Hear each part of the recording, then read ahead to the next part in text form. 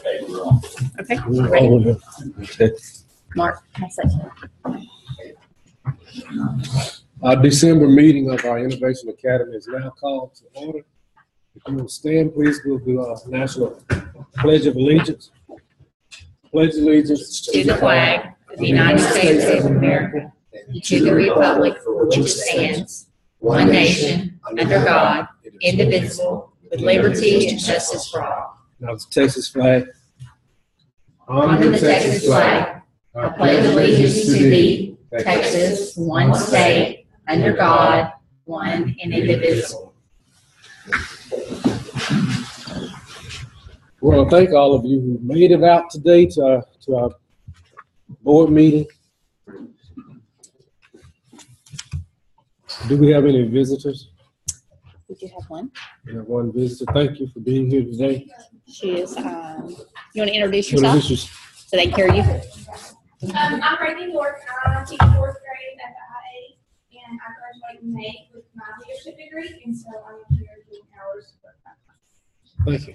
Thank you for being here. We do, let our records show that we do have a, a quorum present. And our first action on our item agenda, our first item on our agenda is our consent agenda. And uh, the superintendent sent out an electronic copy of our last board me- meeting minutes. And uh, I believe our board members had an opportunity to review those minutes. If, do either one of our board members have any questions about the minutes? Satisfied with the minutes? Do I have a motion from a board member to accept the minutes? We have, and do I have a second? We have a motion by Dr. Dykes and a second by Mr. Humphrey to accept the minutes. All in favor of the motion, sign of saying aye. Aye. If you're, if anybody opposes, same sign. Motion carried. The First item on the action agenda. Now, we have four, five, six, seven, eight, nine, ten, eleven. So we have ten items on the action agenda that uh, involves, no, we have, I'm, I'm sorry, we have, first one is a budget amendment. We have a budget amendment for 2014, 2015 that requires action. And I'm going to turn that over to. So just, just to kind of keep confusion from happening, in a minute, you're going to see a report on an audit that was done two years ago, but finally has passed all of TEA's hoops. So you're going to see that. This budget amendment is for the past, uh, school year, the 2014, 2015 school year. Right now, we have our external auditor that, uh, has been cited a couple times already.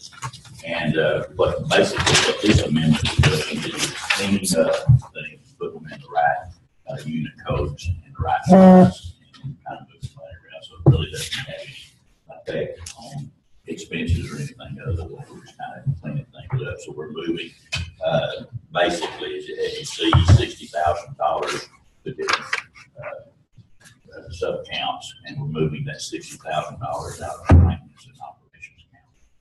Uh, And that will clean it up so that whenever we do have our auditor give our final report in January, that, you know, the things will be where they need to be. Okay. So to say that, to say this, and we got a rollover from two years ago of hundred forty thousand dollars. We expect a rollover of the upper two hundred thousand dollars for this last year rolling in. So I kind of think that we're going to be close to that four hundred thousand dollars going into our current.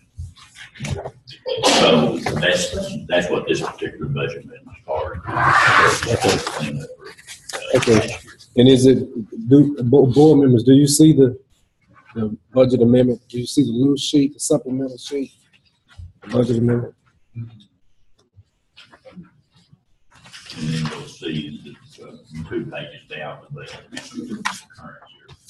Let's, let's, let's do fourteen, fifteen. Since they are listed individually, we'll do. And that's basically, we're just moving against money out of maintenance and operation into trust to cover some, uh, some expenses that, uh, just kind of some things straight. But we have money, that's not an issue. We're just basically, it's moving it from one, uh, account to one. another.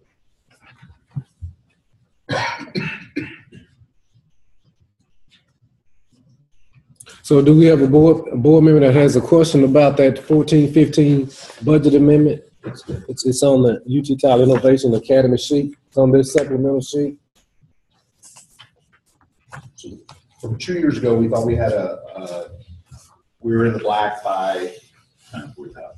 okay, and then last year, we're thinking we were in the black by an additional two Uh, or does that sixty above that one forty? That'd be a hundred and forty plus another two forty, something around in there. We don't have. So that's where you get Yeah, we're four, still where you think that we're gonna enter this fiscal year at four hundred? Right, starting nine one of this year. One of This Gotcha. current year. Okay, thank you.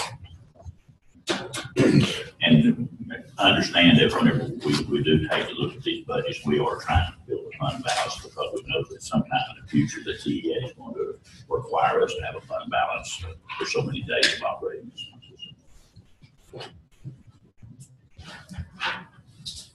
So on action item four, what we, we will need is a budget amendment, a motion to approve the budget amendment for two thousand fourteen and fifteen. That's action item number four. Do we have a board member who's comfortable enough to make that motion? Um, I'll make a motion that we, uh, accept the budget amendment for the 2014-2015 school year. We have a motion by Mr. Flynn to accept, to, to, mo- to go ahead and accept the fourteen fifteen budget amendment. Do we have a second? Have a second by Ms. Dr. Dykes. A Motion and a second. All those in favor of the motion, signs aye. Aye. Opposed, same sign. Motion carried.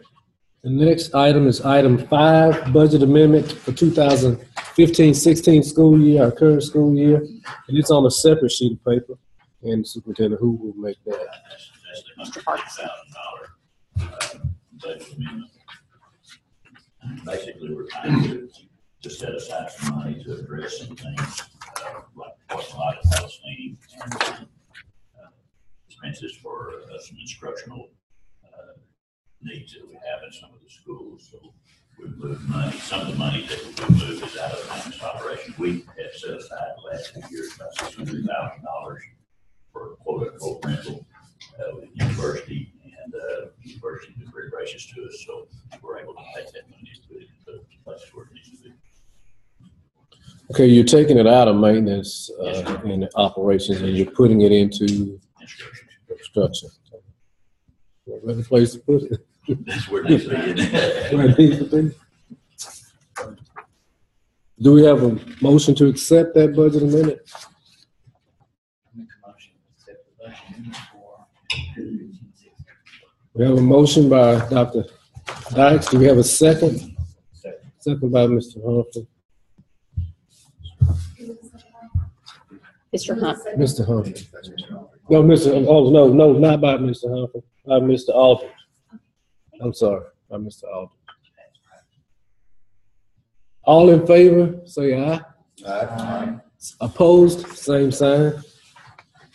The motion carried. Item six, module one hundred, financial operations.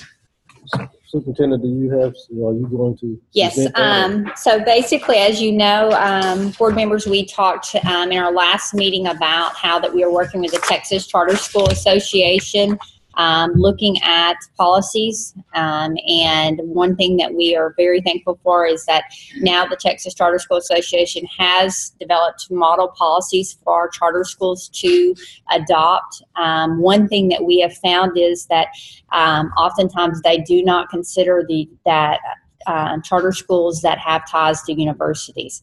So it's not as easy for us to simply go in and enter our name into the highlighted spots and adopt the policy. So um, at the last board meeting, we, we discussed a few things. We went back um, and addressed those. And so this is the updated model, uh, module 100, which addresses financial operations. And um, Jamie, if you can help me um, talk to, about the things that we looked at the last board meeting and the adjustments that we made. Um, in the finance one hundred module, the, the primary, uh, concerns were with regard to the board approving, um, certain expenses. So we changed the wording basically on the, uh, purchasing of contracts and things like that, where it basically just says the university policies take precedence, obviously. Um, and then, uh, on the sections with regard to, um, grants and things, uh, fraudulent misconduct and all of that, it had originally said that the superintendent would report that directly to TEA. We have that she would report, or to the board, excuse me. Um, we reworded it to where she would report it directly to the university. University. Um, since the board doesn't really approve and manage those grant funds. Um, and then lastly, uh, the last two major pieces at the end were with regard to, uh, the property. uh, Investment of funds. the invest, the investment of funds basically says that, uh, we don't have investments that all of our, the university invests funds and, you know, the IA does not. Um, the last piece was the property with regard to real estate. Um, originally, the wording basically says that all real estate owned by the school district is the property of the public and therefore if you close, it belongs to the public. Uh, that was changed to basically say that IA does not have authority to own any property, that all of our property is uh, leased through a rental agreement with the charter holder of the university, and that the only items that are considered public property would be um, actual uh, items purchased with the funds, such as computers and tables and furniture and those types of things, but no rules. And those were the changes that, the edits that were made. And that's reflected in the copy that you received electronically. I do have a copy if anybody wants to review it. Um, but it is, again, that those are the changes that were made since our last meeting.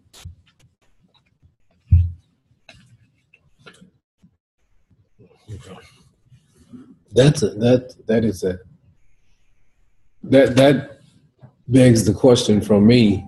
uh, How, how strong is the governance of our board if, if all of the, all of that is taken away? If the authority to, to make those decisions is, decisions is taken away from us and given to the university, what good is our, uh, why are we here? Dr.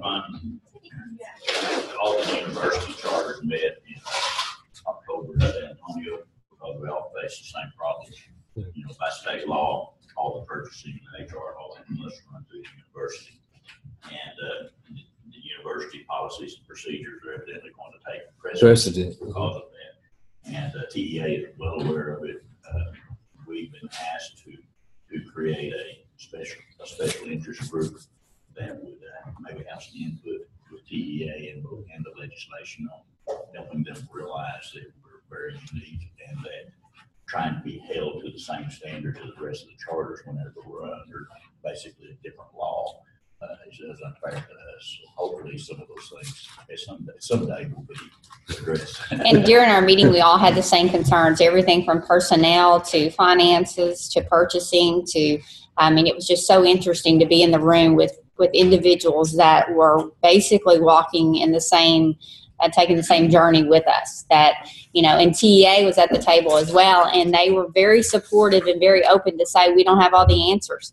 You know, you guys are very unique. We, we really don't know there's a problem until you bring it to our attention you know um, and so they, they do want us to be a voice um, and to come together and, and address these things because what they would like to do is they would actually like to take this model policy and now create one that's for charters and then one that's for university charters based on the feedback that we're providing them.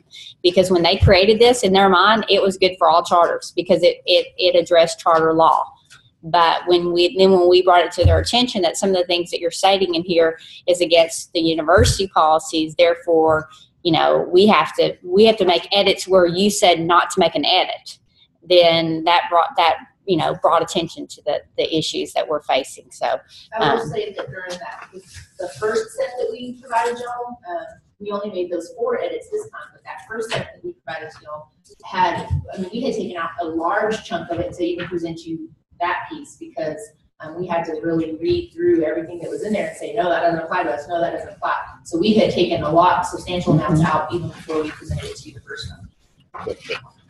So it sounds like we don't have a choice, board, but, to- but to make a motion to accept it, so. uh, Do I have There's a that? TEA that's making, it- taking away our choice. It's That's, that's a state. state legislation. I, I can give you an example. T. Tyler College. I can give you an example that came out of the meeting, uh, the legislation passed a law this year that, that schools aren't paid by the number of days that they have service, but by the number of minutes. Yes. So There has to be seventy-six thousand minutes and four hundred twenty minutes a day.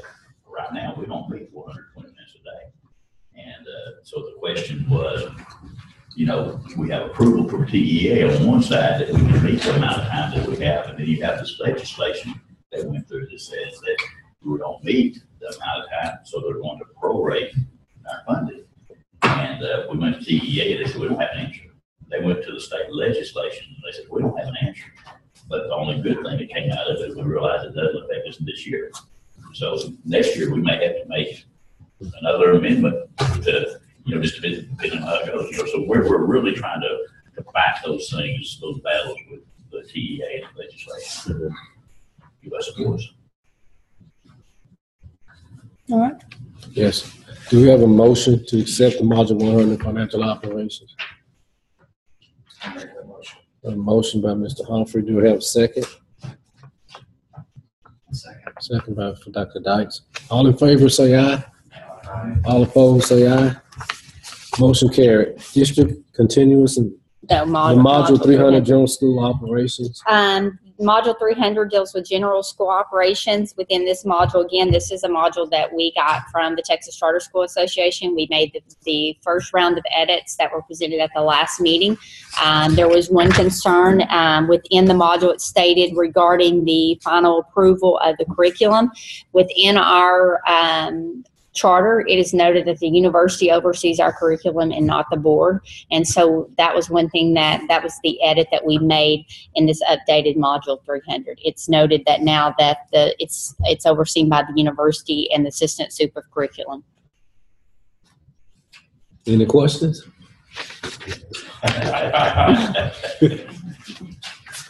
So that's the only edit that was made. And that, that aligns with our charter. If- If we, if we, it's in our charter that it's, our curriculum is overseen by the university, so there has to be alignment within the policy.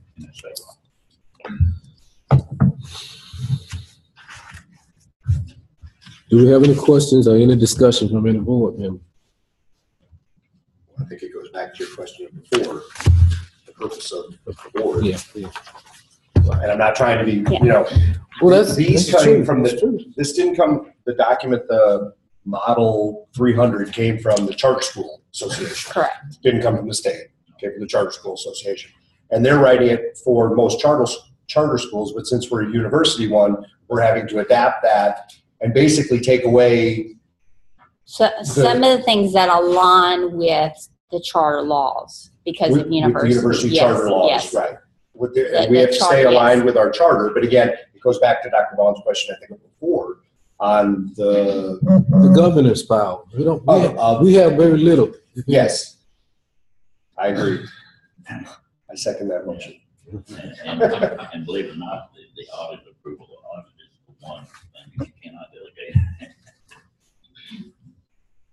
Oh, Right, because that can be a solution. I will note in that particular three hundred module, a lot of that, um, regarding the curriculum is basically that, um, we will use our funds appropriately to purchase the instructional materials allotment, that, that you essentially, you're responsible to make sure, you know, the executive director, which is the superintendent, um, you know, uses the funds appropriately to purchase and follows the TEA guidelines on, on those types of things. Um, so really, it's more from like the financial aspect of making sure we're spending our funds in the appropriate The categories. flow chart is very interesting. Um, Of course, that has nothing, that, that's a different ball game, I guess, from the, the, the motion we have to make to accept this Yeah. module. So, We don't have go- a choice on it. sounds like. Well, we want to have policies. I mean, we've got to have policies. That's kind of the thing that we're running into right now is the policies that were accepted year one were not local policies. Um, you know, legal policies don't have to be accepted by the board because they're legal, they're law.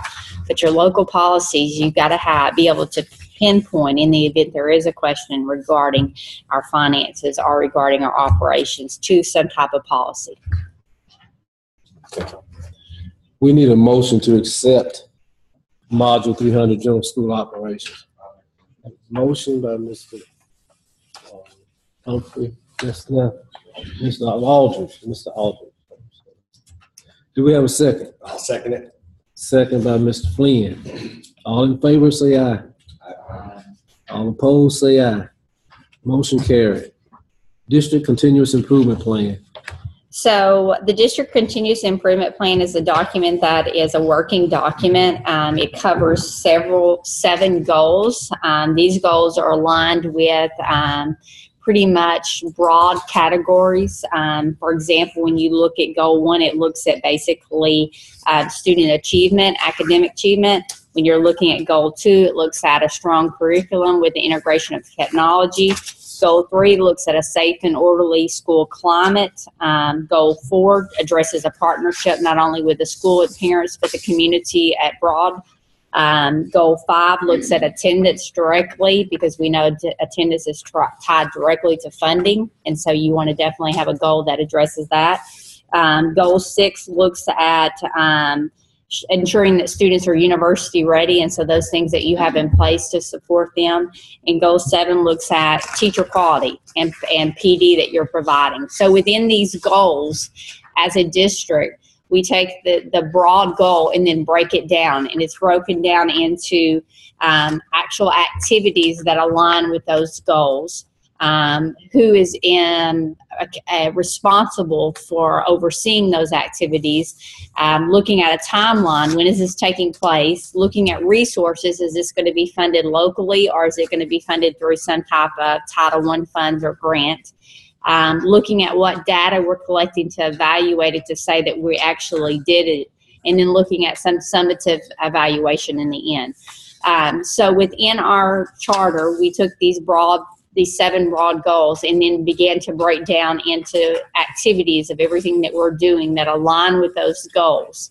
And we that's how we developed our uh, district improvement plan. It was developed by a community i mean a, a committee of individuals made up of parents teachers administrators um, uh, community members and um, university staff that looked at it um, and walked through and developed it and so each, the district has an improvement plan and each campus has a, a continuous improvement plan. So as you can see, um, noted as w- well, um, you've got Palestine's continuous improvement plan, Longview's continuous improvement plan on here.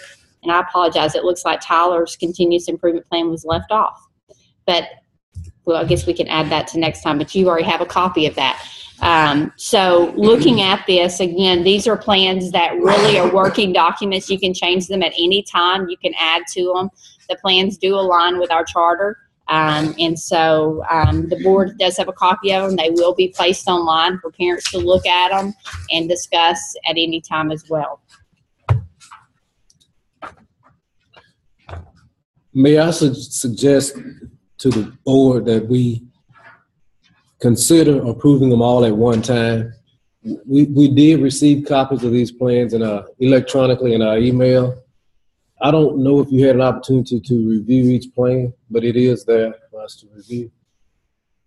So unless a board member has, has strong opposition to approving them all at one time, I suggest that we just, we- even the, Ty- even the Tyler plan is missing. It's in our mail, it's in our electronic mail. So I would suggest we go ahead and approve the district plan and then the plan for, for all three campuses. That's my suggestion. Do we have a board member who will vote on Yeah, they're your all very suggestion? Or do we, should somebody just make a motion for? to approve all the plans? Even the Tyler plan. I make a motion, we approve all Okay, we have a motion by Mr. Humphrey to, to approve the, the district plan, the Tyler Palestine and Longview plans as well. We have a motion. Do we have a second? We have a second by Dr. Dykes. All in favor, say aye. All opposed, say aye. Motion carried. The final, uh, action item is the TASTE improvement. plan. Yes, and so this improvement plan is required to, um, for the board to, um, for approval. Um, basically, as you know, within, um, the system, the Longview campus is currently still under, um, the support of a PSP, a professional service provider, because they didn't, they missed one safeguard.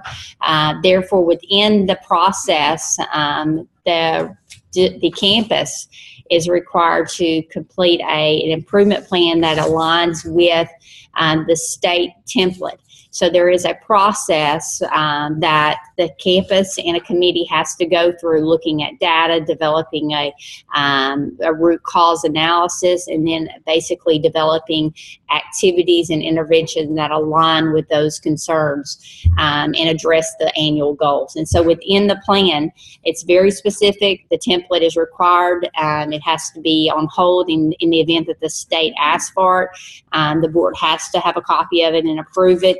Um, and so you have a copy of it. And um, again, this is a required document because of the situation that we're in with the Longview campus. And so you can see that we did have a committee that met. They did do a root cause analysis on the campus. They addressed specific areas that they wanted to improve in um, and noted that within the plan. And the plan is on hold, waiting um, in the event, since we are um, formally IR, the plan did, did not have to be submitted through ISAM, and therefore the state can ask for the plan at any time. So it's on hold in the event they ask for it. Okay. Do we have, uh, any questions from the board? I have one question. Will, will our Innovation Academy Board govern this plan? Will it be governed by the board? Or will we be in, in charge of making sure the, the, the campus abide by this plan? Or will that responsibility be given and authority be given to the university? Well, I mean, I think that really the truth of it is, is that, um, as you know, um, as a professional service provider, they're monitoring to ensure that we are following the plan. They're they're creating a submitting a report to TEA, um, noting if we're in line to meet our annual goals and if we're actually implementing the interventions that are taking place.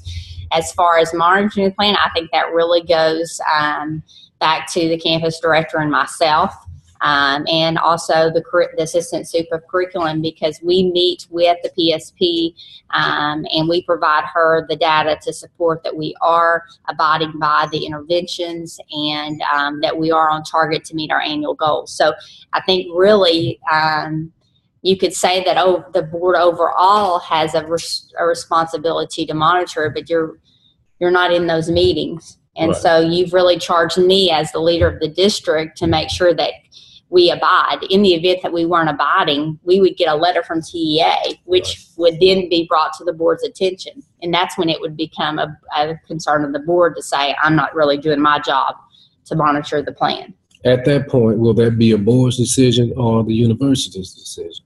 I think that's still a board decision. Still a board decision? But at this time, we are on target. Um, Dr. Paramore just submitted her first um, PSP report, and we are on target to meet our annual goals. She's very pleased with the overall progress that we've made.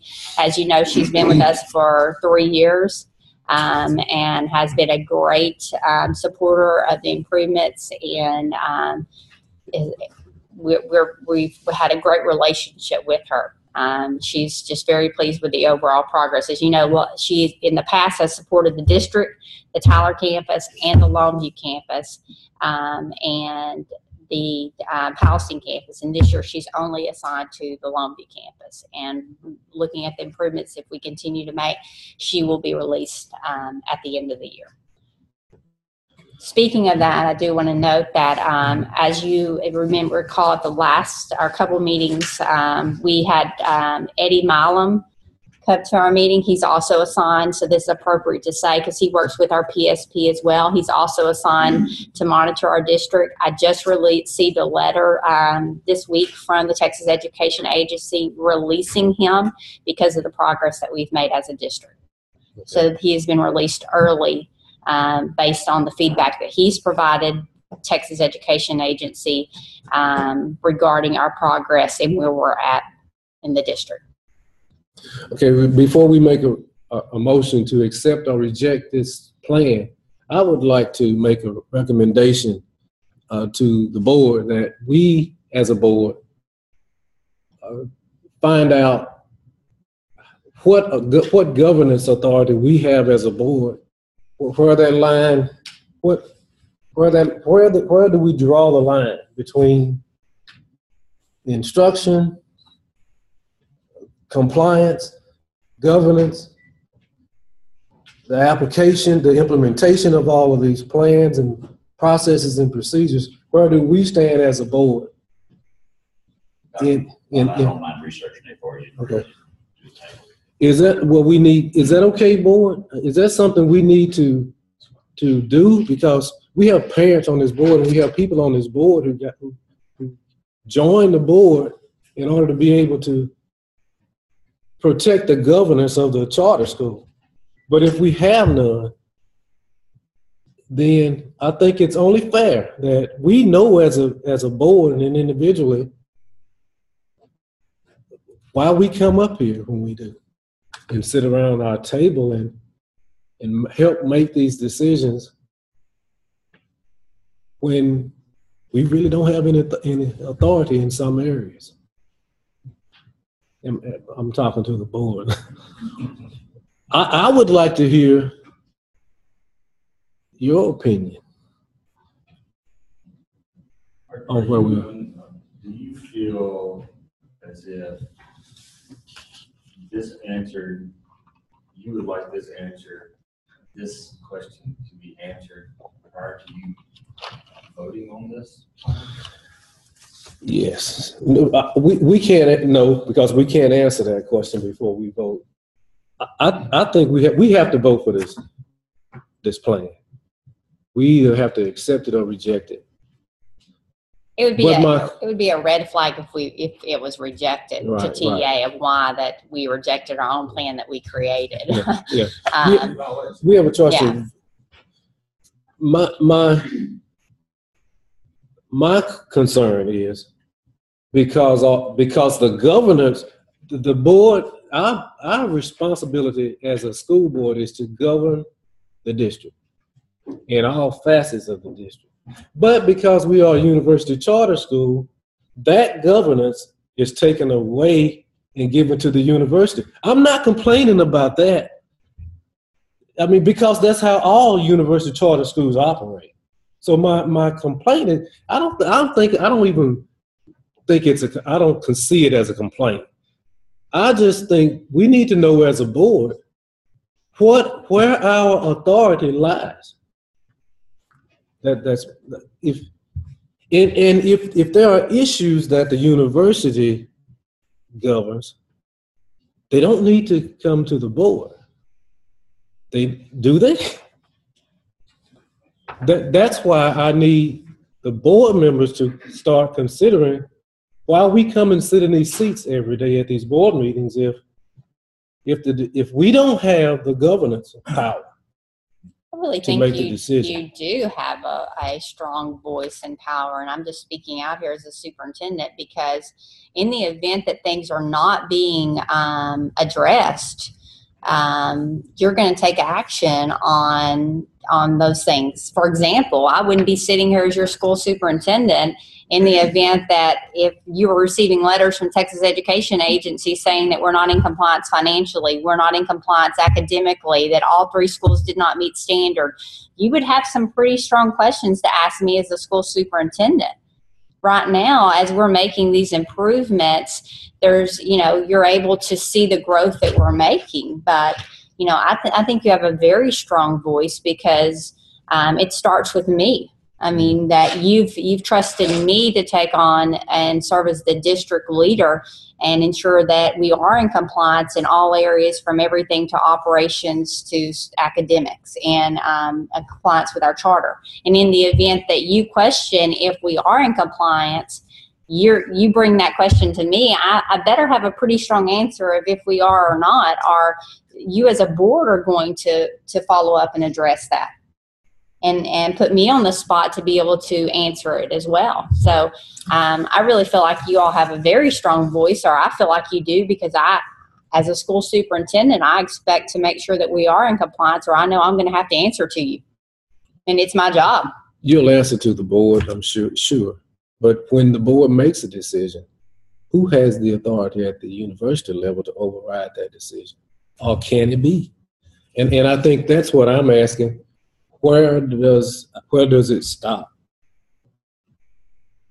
And, and right now, we can't answer that. But Mark just said he, he's gonna research that information and then let us know at the next. know that you, that your first and foremost responsibility is to approve the policy of of running the school district, which is a huge thing, which is some of the things that you, you've done today. But on the other hand, as, as, uh, Dr. Simmons has pointed out, if the, s- the school district is not running effectively, that's your responsibility to govern her or her position. You know, to either, uh, put in a plan that, that, that it does do so, or put somebody else in that position. So in a certain sense, you have a tremendous, Does the buck stop here though? yes, in that sense, it's, it's only in the curriculum and in this Facilities. whole purchasing. Well, you know, facilities and bidding. curriculum are really not under your, Yeah, everything is under and so I me. mean, And that's, so and how the, how we're running, and it's been an I mean, the, interesting. the, the most important thing I'm running is how the kids are doing. And, and that's all curriculum. And, and I And- want to, I'm and- gonna say I this, that any time, any of you people on the board have brought up a concern, that has led, always led to a meeting like, what is this concern? Because we need to address it, because we respect everything that the board says and what the board stands for. So we, uh, the, this charter school looks at you as a real governing board in the sense that, that we just totally respect any concern that you have. And, uh, if it's something that you bring up a concern, it's something that can be addressed, that's not addressed by state law, then I guarantee you that, that everybody on this staff looks at. Right now, it's, it's, I don't know if it's a board concern. It's my concern because I'm not hearing it from anybody else on board. So it may not be a board concern. It may be just my concern. But I am concerned that, that, uh, with that we're in this position. Can I make But- a comment, just as a, as a representative of UT Tyler? I I think it's, a- it's, it's vital that there's dual governance, that you all as a board hold the university accountable, that if the university chooses a curriculum, that you all make sure that curriculum is functioning and that Dr. Simmons is pushing that down to the level. And if it comes to where that's not good curriculum, then you as the board hold UT Tyler accountable for making those changes. So I, I do think it's, it's vital that you all are involved, even though you may not make the decision that's assigned to UT Tyler, you hold UT Tyler responsible for making the decisions that's in the best interest of, of the charter school. And that's happened. I mean, and when the times that we were struggling, I mean, it's several of you brought us some great questions to say, you know, what are we doing with to support our math students? That was the transition we made early on. Um, we went from project-based learning to problem-based learning to make that transition to support our students. And and when there was, we struggled with alignment with the curriculum and projects across the um, the curriculum. So you know, your voices are very strong. Um, it's, you know, and again, I feel that I answer to every one of you, um, and that in the event there is a concern, um, I have to be able to address the concern and um, make sure that there is a plan in place to take action to make the improvements. And on the other hand too, when it comes to finances, there's been times that I've talked to the finance department here at the university and say, look, do you want to go before the board and explain to them why you are not operating the way that you want to in, in accordance to our charter, in accordance to state law?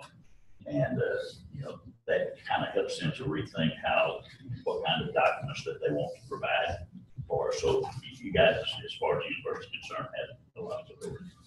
Can we go ahead and make a motion to accept this TAIS improvement plan and then reserve this conversation until the annual board training and the discussion?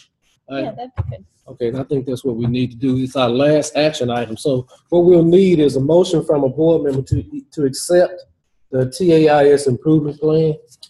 Do we have that motion? I will make a motion that we accept the TAIS improvement plan. We have a motion by Mr. Flynn. Do we have a second?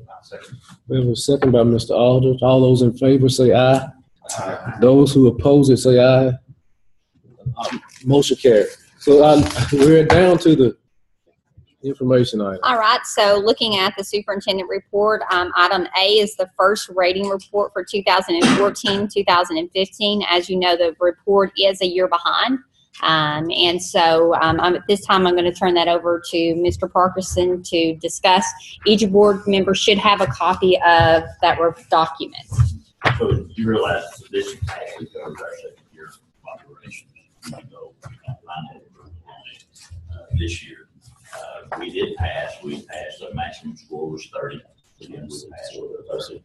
So as far as our, as far as TEA is concerned, as far as our external auditor was concerned, our financial records are exactly That's with sixteen. posted uh, on the website, it's also posted in the newspapers and and, uh, you guys have have uh, access to the.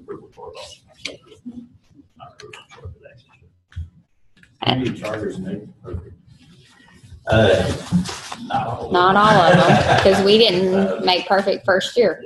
So this is an improvement, and I, I just want to note that um, I want to thank the administrative department led by Jay McCrar, um, Christian Moyes, Linda Butler. These ladies have put in extensive hours along with Mr. Parkerson um, to really look at this report in detail, really hold TEA accountable to f- give us answers when our the the questions that they're asking do not comply with the university charter.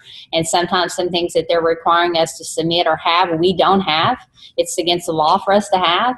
And so having to go face to face with them and explain to them why we don't have it um, has been very powerful. And that's where really our relationship with TEA all really stemmed from.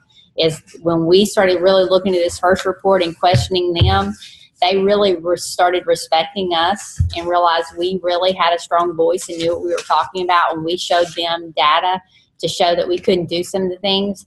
Um, but this didn't just happen. And th- there have been individuals in this room that have put in countless hours to get this rating and this score. And I, I want to personally thank them for that. We had a passing score of sixteen, didn't we? I'd like to point out that that particular uh, audit was done um, over the fiscal year that you made the, the change from Combined to PeopleSoft. Um, And we also changed the finance manager uh, in the midst of that. So uh, we had a person trying to complete an audit over transactions that they had never had their hands on. Um, Passing and is we were 16, we working got a two 30. softwares, um, Which was not easy at all. Uh, So the, to get a perfect score, uh, we were in the midst of those two major transitions. Was actually Really exciting. So again, we did receive the highest score, and I just want to note that. Very pleased. Um, we're actually working on our audit now. Um, these ladies and, and gentlemen are, are working on the audit now for next year or for last year. Um, so So a part of this information is that we have to post on our website the superintendent's contract, I think that's probably going to pass it around. Um, Every school district is supposed to do that. Um, and What posted on, on, on the website for us is pretty much, uh, right of posted salary. Uh, But if you do check the website, out there, I checked forty-three websites, and only two of them posted superintendent salary, so a lot of, a schools breaking the law out there with. And I want to note, since um, that it is an, I, I serve as a school superintendent as an at-will employee, just like the teachers serve. Um, I do not receive additional benefits that most school superintendents receive. Um, my benefits are aligned directly with the same benefits that every UT Tyler staff member receives. So um, I, I do want to just note that as well. So I think that that's important to know that I don't stand above the staff and have a separate contract. Um, it is a at-will agreement that I have with the university, um, and it is a year-by-year agreement. Okay, I don't understand all the work that went into this, but I've been sitting here for years and hearing about the difficulties that we've been running into and to do what y'all have done. Uh, I realize, I appreciate the fact that that was not easy and thank you. Signing contract with the university. not with the board, so what- You see my conflict, building issues? I'm not, you know. Um, the next item is, anybody have any questions before I move to item B? Um, the next item is the Texas Academic Performance Report. Um, basically, this is a report that, um, it's an annual report card and something that's generated by the state. The state does an annual report card for the district, an annual report card for, um, each campus. The report card covers everything from the demographics of the campus to the accountability um, rating of the district or campus. Um, it looks at the number of teachers, and it's really just a, but I, it's a report card, and it covers a little bit of everything. So um, these report cards will be posted on the website. So um, that parents can access them. They can also access them through the Texas Education Agency. Um, and um, you also received a copy electronically. And so, um, again, does anybody have any questions about the academic re- um, performance report cards? The next item is item C, which is our district enrollment. Um, you did receive a copy um, of our current district enrollment, so you can see where we're at currently. Um, looking at Tyler, we're at 243, Longview's at 143, Palestine's at 164 with a total of 550. Um, you could see that our annual attendance rate is um, 97%. Um, Tyler's 97, Longview's 96, um, and Palestine's 97. I do want to note that is the highest attendance rates that we've had since the beginning of the district.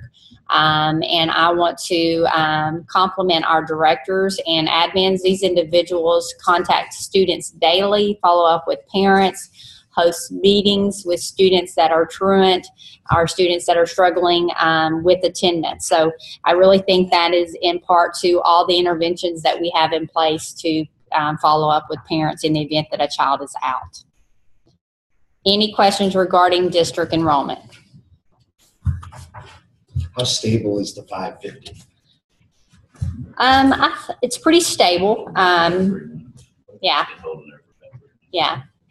And we, But not losing fifteen gig. no, it's, it's pretty much, and we do have a marketing campaign that starts over the holidays Yes. for spring break.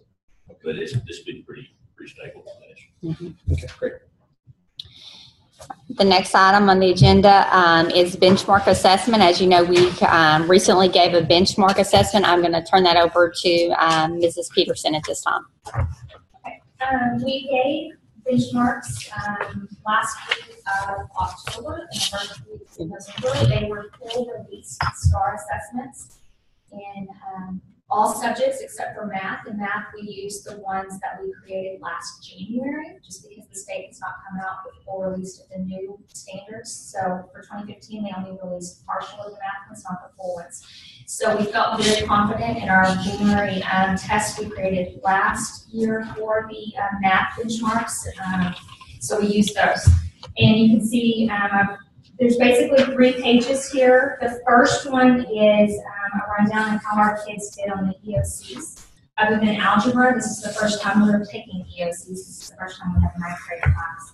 The um, blue bars are how our students um, performed based on the passing um, standards that the state has come out with this year. They have put a phase in between phase one and phase two up until this year. Um, the passing standard has always been at phase one. Um, know, that differs on the grade level and the subject. Instead of moving fully into phase two, what they've done is they have put um, something in between that and had the proposed progression for this year. And so that's what these numbers are based on, that new proposed progression for the 2015-2016 year. Um, again, the blue bar is how we passed at that, and the red bar is how we're looking at um, our kids passing at the final recommended level. Um, questions on the ESC?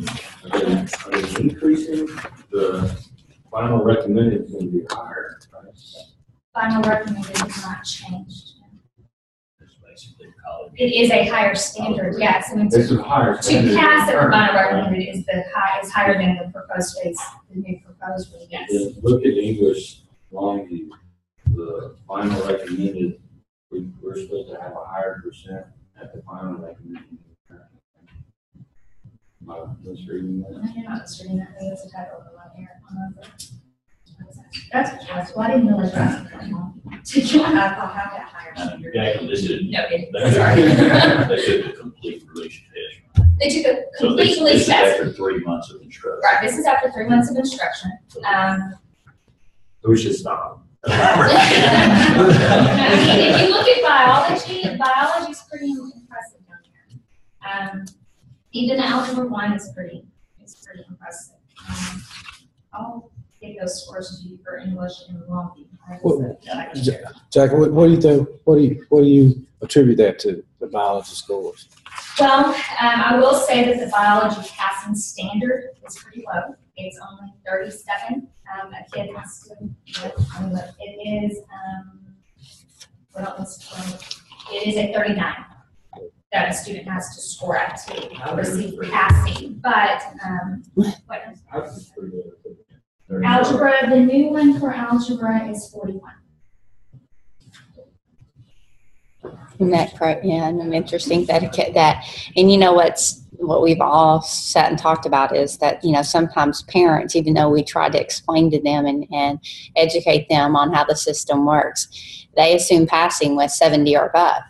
And so when they think their child passed, they're thinking, oh, my child passed with a 70 or above because that's what they connect passing with. And oftentimes we have to say, this is, you know, when we're recommending the child participate in interventions and then the parent says, but they passed STAAR, then we have to go back to say, yes, they passed, but understand the passing rate was at a 41%. And we feel like there, there still are some gaps there that we could support your child on. As for science though, in March, I will say that we have a science coach for the first time this year that um, is a true science expert. Um, we've got some phenomenal biology teachers, but also to speak to our model in STEM, we emphasize science every single grade. And that's not as typical in a normal school district. They may slack off of it in third and fourth grade or in sixth and seventh grade because they're non-tested years. And our model really revolves around science. Every single PBL we do, we have a strong science emphasis. So science is really one of our strongest. Can you quickly go over, like algebra, what is the final said the proposed standard, sixty-three. proposed standard is forty-one, mm-hmm. final is sixty-three. Mm-hmm. What's English proposed standard? Uh, fifty-seven, And then. final is sixty-four, And then we have thirty-nine in biology is proposed standard. yes, and sixty-one is final. And there's a chart too that we could, we could get you a copy of that really shows kind of final, advanced. So what do you think, based on where we are right now in the proposed standard and the percent of students that we have currently at a third of this semester, a third of the year, that at the end of the year, we would be close to that final recommended? Right, that's, that's the exciting thing about this year, and you can see if you look at the other chunks that we'll get to in a second. You know, in years past at this time, it was kind of panic mode to even say if we were gonna pass the Right, it's next one. concern. And we were all sitting around this table wondering what the fate of our Especially school was. Longview. Mhm. This year, it's very exciting to see I that we're in a place that we know our students are gonna pass. I'm now charged with how many students can I get to pass that? They And that's an exciting place to be. It's a much different place than we were sitting at last year. We started third grade. Mhm. The second This page. is, this is the Sorry, can I- fourth and Yes, go ahead, sir. Is this our best right? guess at Right. what we think will happen at the end of this year? Or is this where these kids are at on this test day? This is not our best guess yet, but we Okay, had. all right, so- Yeah, This is- I came up with much higher. months. This is the We don't one. get these kids till third grade. But I just want to make sure that this wasn't projecting. No, this is, this is actual- data. This is Yeah. Data of where we stand, right? If our kids would take the STAAR right now, this is what it would look like. But we've got several more months of instruction. Right, right. Okay, thank you. The second, um, charts I provided were for the rest of the grade levels, so these are the STAAR grades three through eight. The red and blue here means something completely different, So this is, this is talking about it's all combined, yes. I didn't break it down by grade level, but I can if you want me to, I can send that to you separately. Um, I broke it down by campus and then by district, but the blue on this, this was exciting to me, especially on the math chart, which is what we've struggled with the most in the past. The blue is where our students stand right now at the new proposed progression. On the, the red is that, remember we gave the exact same test last January. So that red is where our kids were last January on a lower standard because that was at phase one. And that's for every chart. So you're comparing the exact same test, exact same test on all subjects After three months versus after, exactly. a third of the way it's. And with a slightly higher standard of passing. Because last year was phase one, this year we're on a proposed. So basically, um, if you look across all the assessments, a student needs to get around three to five questions. Um, cor- m- m- more, about three, or f- three to five more questions correct this year to just get a passing standard than they did last year. So a third, third grader last year may have had to only get 28 questions right on the test. Our third graders this year have to get like 32 questions right on the test in order to get that same passing. The passing rate that will only that's the only rate that will change. The advance is set and set for the duration of the test. The um, final level performance is set. It's only that passing rate, that in that satisfactory standard that every so many years the state is going to increase it to say. So you know, we look five down years down the road, a kid's going to have to get you know 35 or 36 questions, whereas a kid last year had to get 28 to pass the same test. On this second report that I provided you, that's what the red and blue means on every, um, chart except for the writing. The writing last year, I did not have true data to show you where we were last January because what was recorded in our DMAC system was only our revising and editing section. We had not recorded our compositions into that score, so what I provided you on the writing is how currently our fourth graders are doing versus how our seventh graders are doing right now. Um, and that writing test has changed. In the past, the students had to write two compositions. It was a narrative and an expository. Usually the narrative carries that expository, especially in a fourth grade, because it's a much easier to write a narrative. So um, I'll tell you, I sent these reports to Odell on Monday night, and his first question to me is, what's going on with writing? Mhm. Well, if you look at the fourth grade, they've barely been exposed to expository writing at all. In fact, it's barely, barely in our first quarter scope and sequence, and that's when this test fell.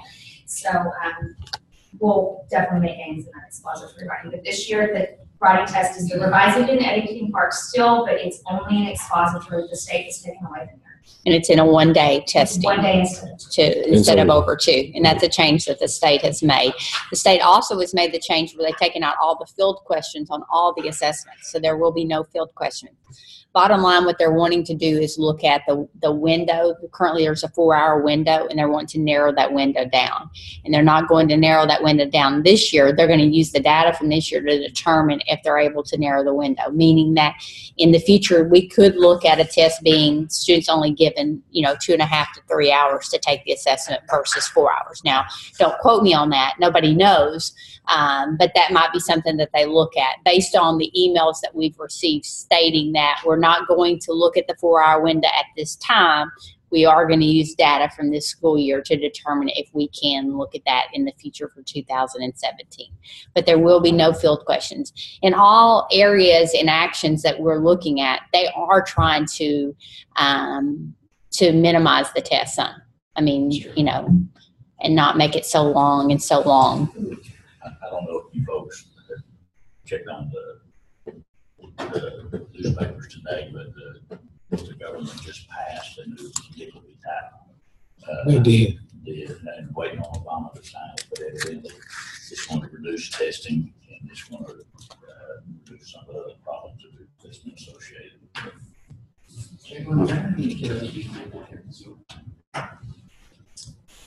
Uh, we're looking at some testing as today, and I told across the campus was about thirty something. Across the district, sorry.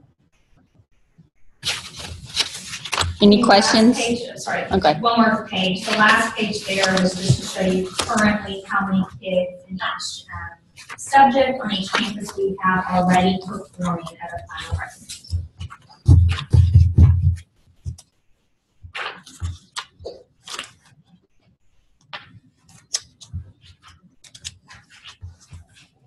We'll repeat these tests give another full one, but it will be the twenty fifteen for this test, so it'll be the one state gave last year. And, um, we'll compare how far we've come since. The next item is item F, the annual board training. I basically just put this here just to make the board aware that um, we will be looking at having annual training, which is a requirement um, to serve on the board in the spring. So we are looking at some tentative dates. We'll get those dates out to you um, so that you can um, reserve those. And Jamie, if I'm correct, it's a, we're trying to get it into a one-day session versus two. That's what we're trying to work on. Yeah. Yeah. Um, so we are looking at that to get that scheduled. Any questions about that? Item G is marketing. As Mr. Parkerson noted, um, we are looking at some options. I know that we're starting at the radio campaign on, in all three areas. Um, we are currently doing some campus tours. If this is the time that parents are probably going to make the transition, um, this is probably the window for that. As you know, the semester will end um, shortly after we return from the break. In the event that a parent is interested um, in making a transition, now's again the window. Uh, most parents are not going to transfer their child in the middle of um, a semester. Um, so we are looking at our marketing campaign. We're focusing on uh, a campaign that looks at it now currently accepting transfers. We do have some openings um, throughout each campus in select grades. We do not have an opening in all grades. So um, it just really depends on the campus. We were talking today.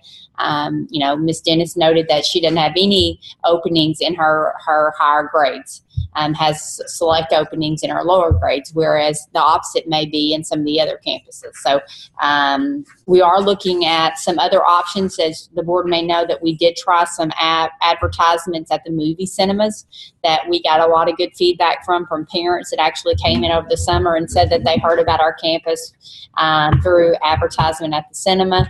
Um, and we also are looking at some posters and banners in the malls. Um, we've noticed that there are some schools that are, are utilizing that audience as well. Um, and so we're looking at, at, at different options that we can touch base with the community. It still amazes me that the number of people that do not know that we exist um, and the assumptions that they make about our school. Um, I'll share with you just briefly. I was sitting in Starbucks the other day by a couple. They happened to start talking about our school. The lady began to share that um, she her her grandson goes to the school and was sharing with the gentleman how pleased they were, and she didn't know me from Adam, and I'm sitting there just over eavesdropping as she's sharing with him about our school, and um, he said, "Yes, I, I've actually looked at that school for my son." but I heard it's only for university employees. So he his assumption about our school because it's the University of Texas at Tyler Innovation Academy that it was only for university employees' children, like it was a school within the school only for professor students. Um, and so it's interesting the assumptions that are out there about our school, and they differ in every community. Um, and so, you know, that's something that we're um, talking with parents about. I had coffee with the Longview parents. Um, I have a coffee meeting scheduled with the Palestine and Tyler parents next week, basically just to sit at a round table to say what's on your mind, what are concerns you have, what are we doing really well at, um, what can we do to better support you, and then charging those parents with marketing our school. If you're so pleased with you know the system that your child's in help us. This is a way that you can help us to get the word out. Um, and so had had some really good conversation with the longview parents. So that's just kind of overview of where we're at currently on marketing. Any questions The next one item is H, the STEM coach um, visits. I just wanted to update the board to let you know that, you know, as um, you know, we were awarded um, and we are a STEM district and each campus is a STEM school. We do have a STEM coach, Dr. Sots. We met with her on Monday and, and she has also visited every campus and sat down with directors. During this time, she really just challenges us, questions us about, you know, different avenues, everything from how we, how we supporting students through STEM, what activities are we utilizing, looking at course schedules, looking at teacher um, qualifications. Um, you know, she really is um, just holds us accountable. Looks at, you know, yesterday's conversation really stemmed around high school and how do we look at student transcripts and how do we create transcripts and how do we ensure that transcripts are aligned with the state laws. Um, so, um, really good conversations. She's um, been a great coach that we value and look at, you know, and, and really um, value the, the critique that she provides us to ensure that we are. From? Mark, where is she? No, no, I mean, this, th- what is? Who, who pays her? What- Oh, She's- no, she- no, uh, yeah. Consultant that we No. hired or? No, she's assigned to us by the state. Educate Texas, which is a a TEA recognized consultant provider. Um, TEA has basically paid them to bring on support staff for those STEM schools that are designated as STEM schools. So every STEM So school, she's similar to an auditor to make sure that we, not so much that, um, she's, she, she's more of a, of a, a coach. Because she, she, she has no power, she has no authority, but she just has a tremendous background in STEM practices. And whenever she walks in, she says, have you tried this? Have you thought about this? I saw this source, I saw this resource. How are you doing this? And, you know, she dresses everything from operations to curriculum. Um, she really challenges us to really think outside of, you know, our arena, you know, not, you know, and so, um, And since inception of STEM designation in Texas, every STEM designated school has a coach that meets with them. Used to be monthly, but now it's just four times a year. But, so there's a hundred schools. is there, when we received that STEM designation, we got that how? We apply for it. Okay, and it's a, they come and do campus visits, it's just a paperwork, But there was Thing a, or- there was or- pretty good size application process. It was reviewed by TEA. Uh, they determined what we were doing, what we said we were going to do. Of course, we're doing so many things already because we're familiar with the process. So it was a pretty easy step for TEA to designate us as a, as a STEM district. and there's requirements within that that we have to comply by that she's really making sure that we are in line with those requirements. And there's, a- there's a STEM blueprint in Texas for STEM schools. And if you'll go back and look at our charter, our charter built around that blueprint. So But we're the only school in Texas that's like us, right? UTPB, University of Texas at Permian Permian Basin, is doing a lot of the same things we're doing. We help them write their charter and we provide professional development for them.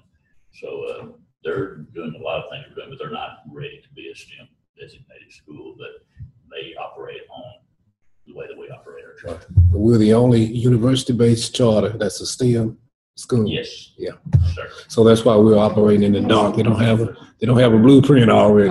Right, right. We're the only university charter that stepped into the high school arena. Yes. In fact, at the meeting that we attended in San Antonio, basically over the table said, "You're crazy."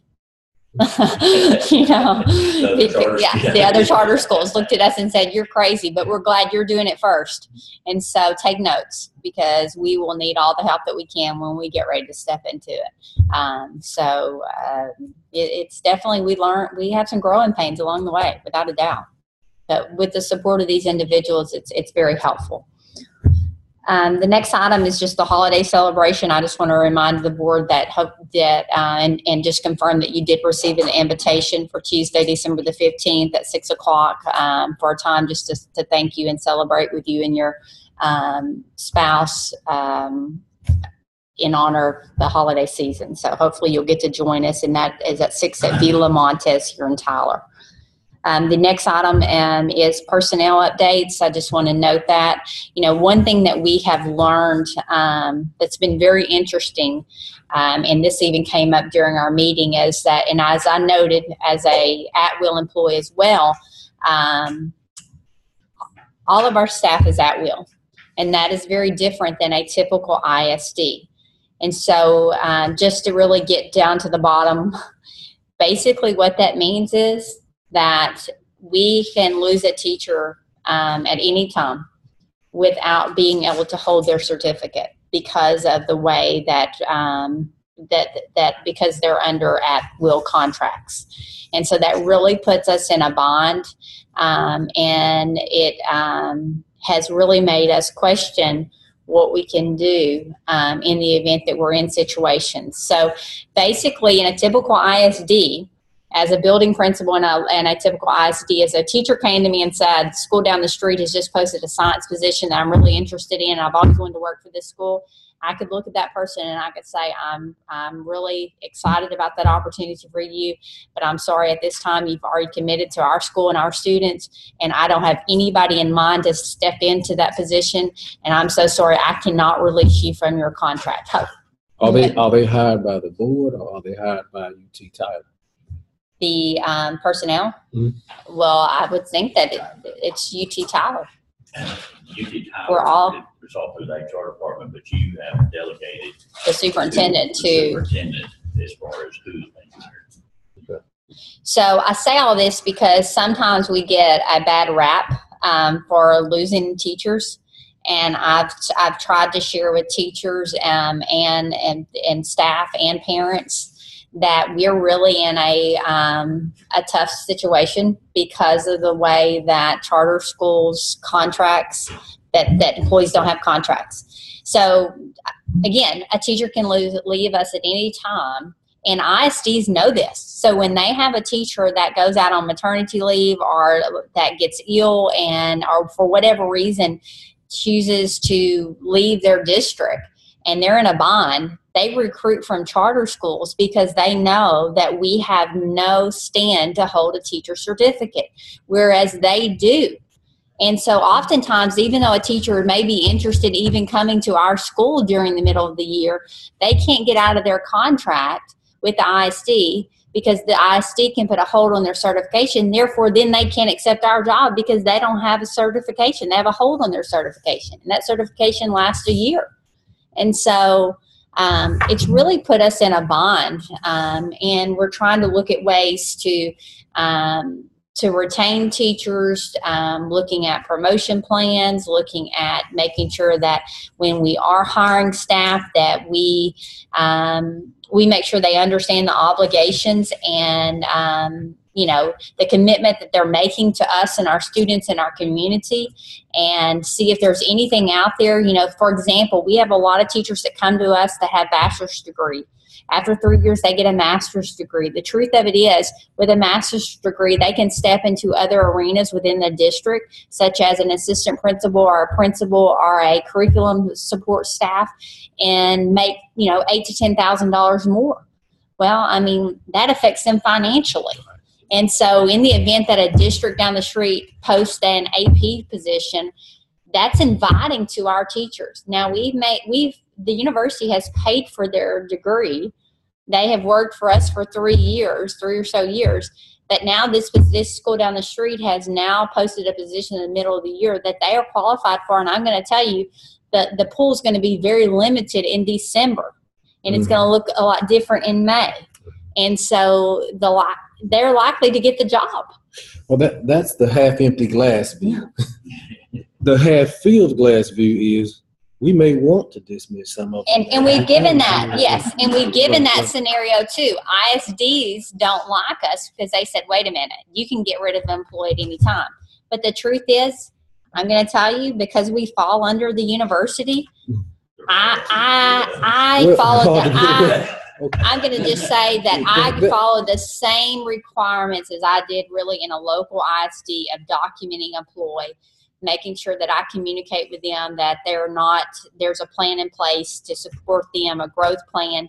It is really the same amount of paperwork I did in an ISD that because of I'm under the university umbrella. If I was a separate charter mm. school, I could literally walk into a staff member and say, you know, you're struggling, and at this time your service is no longer needed. Did you That's- like that? Because we could write the chart, or we could as a board, say personnel could go through the board, Yeah. not through the university. And then That- question comes to, No. to That- light That's right, because I'm uh, take No, back to. I, I don't, I wouldn't want to be in do. that position, to be honest with you, because I want to give everybody a chance. If we've employed a person, we've, we've committed to them, and I do want to give them a chance to be successful for whatever reason. That what I don't like about the situation is, we've had a couple teachers leave us recently for administrative positions to step out of the classroom. And we had no clue, Dr. Vaughn, I mean, Dr. Lamb, that they were even looking. And we literally get a phone call, a reference check from the district that confirms that they've already gone through the interview process. They've really already been accepted. Now they're just doing the paperwork. And that, that, that upsets me because I know how it affects our kids. Because we put this individual through intensive training to, to prepare them to teach project-based learning or problem-based learning. We've invested in them. And I think professionally, they should invest in us a full year. Now, if they get ready in the end of the year and they're ready to go on and look at other positions elsewhere, I support them wholeheartedly and will give them a, a recommendation that they deserve. But to just basically drop us to go to a school district down the street, I have a concern with. And Is- I have Is there no way to legally bind them? I understand I tried that's every not way. But is there no way? Nope. You can say, yes, you can leave, but you can't work for somebody else. for the I rest followed up with the Texas Charter School Association legal consultant. We even have it in our commitment letters. I'm going to tell you, we took a next extra step. And in the commitment letters that our staff members signed this year, we said that if you do, that if you're not committed, basically, or this commitment is through this, the 2015-16 school year, and that in the event that you try to resign during this time, we will put a hold on your certification. We said that in our commitment letters. It's in bold statement. But guess what? When we presented that commitment letter to the Texas Charter School Association legal um, team, they said you have no room to stand on. Just a threat. It's just a threat.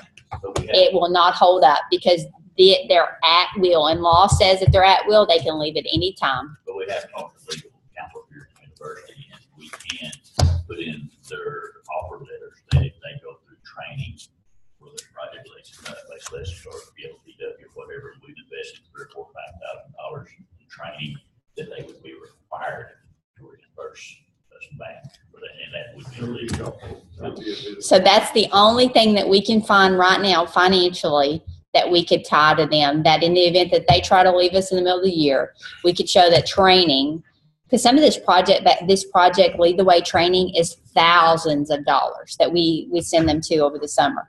And so one of the things that we've talked about is that we could tie them to basically just say that you owe the district five thousand dollars.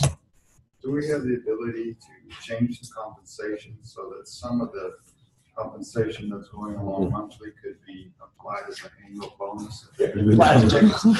Bind them to the end, it's like you finish the year so that the compensation doesn't change, but it's distributed differently. Uh, I Said that, that at the start of this year, every teacher they signed that they were returning, we gave them a, a stipend of some kind. A five- $500,000. well- You gave me, I'll take your five. Hundred thousand, five hundred. I want a piece of that. So anyway, again, this goes back to the learning curve that we've had. We put it in writing. We thought we had room to stand on. We had the teacher that basically questioned it with an attorney and it, we realized real fast it didn't hold up. And so it really, again, puts us in a bind of how do we create a, a bond with these individuals Can so they don't want to leave. What I suggested, though, We can can you change the compensation? In other words, reduce slightly the monthly, or I don't even know how often they're teaching. I, I don't think that you And then can. have a I think we bonus can at do the it. end, I don't, because that's I what we be done can. in private business if you wanted to bind someone, I, that's what you I, I think that, that if we run with the difficulty with the university, Mhm. their policies, you know, even though I, you know what you're saying for prosecuting that. Weaver, you have a suggest, something that you want to note, I'll give you the, Always, uh, I, I just, I- maybe it's not something that general says, but look at one part. Um, the three teachers you lost is not people headhunting and finding great teachers. We have lost some great teachers. well, I appreciate you saying that. I'll let you state that. okay. Mr. Al, Al, Aldridge, are you interested in knowing where the board governance falls? Well, I'm curious, but I'm. Vaughn, I'm gonna finish my, look at you, what you are you through. doing? I I'm not done. Go ahead, go Okay, um, so the personnel update, so we talked about that. Um, K is January special board meeting. We do have to have a special board meeting before our next scheduled board meeting, which is in February, um, to approve the audit that's currently being, um, taking place at this time. So we have picked a date of January the fourteenth at twelve, so please note that that will be a one item, That's Agenda. special called and. yes, a special called meeting. if it was um, that should last. I mean, yeah. So hopefully, we might could even look at some of these individuals that travel, even um, setting up a Zoom for them, so they do not have to be on the road. We just need to Yeah. sure that we, that Just the, two- the audit finished out of that, that. I know where Yeah. you're working in January. So we'll work on that as well. So that's all the administrative Yeah. updates that I have at this time. Again, I want to thank the board for their support. Um, I'm very pleased with the work and efforts of the teachers, the curriculum department. Um, I'm the the directors on each campus. In fact, I was sharing the other day. That I feel like we're in a good position that we have the right people on board that really know what they're doing. They're they're self driven, motivated, dedicated to our district, and I think this is a direct reflection of everything from TEA releasing a monitor because they see there's no longer a need for us to invest in that because of the improvements we've made to the report that you've seen here academically to show where kids are already far ahead of where they were years ago. Um, so very pleased with the overall progress the district's making. I do thank you for that. Um, although you, you may not feel at times that you have a voice, um, I say that you have a very strong voice because I feel like that I have to address, I have to answer to you and the community at Broad on everything that we're doing. So thank you for your commitment, um, and a special thanks to the individuals at this table because again, I want to note that the success of this school is not because of, of my leadership um, on its own. It's because of everybody at this table working hard every day um, and being motivated to to ensure that we are successful. So thank you to those individuals as well. We thank y'all too for the hard work that all of you do to keep this Innovation Academy up to par. So Thank you. we Appreciate Thanks. that. But I would like to poll the board members to find out who, who would be interested in Mr. Parkinson investigating or researching our areas of governance to find out exactly what we can govern and what we can't. Too. The that what I read also in one of the modules that it does list some things like going through the defines this. So kind of came up at our last board meeting, got changed. Approving purchases over a certain amount, things like that. So I would say those In your input, in? But that's, um, you know, I would, I think I know where you're going, yeah, if there, if there's a, if there's a finite list of things, you know, a list that can be created, say, board has governing authority, authority over X, Y, and Z, then that could be very It would be helpful. helpful, because Yeah. you and I coming from that central office experience in the public schools, this is diametrically opposed to what we've, we've done for all those years. Exactly. And this is not in a, in a, in an antagonistic way, negative way, but just to turn it positively, to make it so. Absolutely. everything that, that's happened at, at this Innovation Academy, whether it's us working with TEA and higher ed or trying, or our, our directors trying to figure out how they're supposed to be administrators, but not over curriculum, it's been a learning process for every one of us that has nothing to do with what goes on in the regular ISD. So it'll be more than that, try to, try to help you. Okay, we haven't heard from Mr. Uh, I'm curious to. you're curious too, so I think that's a majority. So, so the board is asking you if you could have that information by January and put, can you put an agenda item on the On the January? January, Okay. Anything else? We talked about facilities in January too, we don't talk about today, but just update for. uh, for, okay, I'll put that on the agenda. Hopefully we'll know a little more. Yeah, Motion to adjourn? make that motion. A Motion by Mr. Humphrey, second. Uh, Thank you everybody so opposed? much. Please get a plate of food if you haven't already eaten. You must have liked the bread. Yes, you're, you're, uh, Yeah. run that over. Well, it's here. We can't change the salary because we have no authority.